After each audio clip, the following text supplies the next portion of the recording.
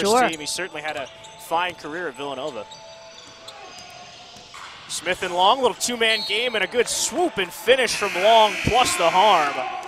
He's big enough to play the four this level. The lob to Long. He goes window and slowly this lead dwindling down. Brandon Triche in the ball game out of the timeout for Delaware. Smith off for Lopez. Nifty feed from Russ Smith. And Carlos Lopez finishes. Greensboro Swarm getting a ton of good looks at it, but not able to get him to go down and monster attack to the basket.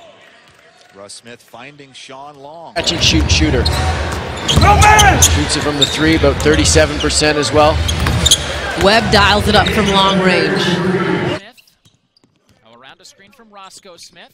Bounces down low to him, off glass and good. And we're tied at 77. Paul George. No kidding. Yep.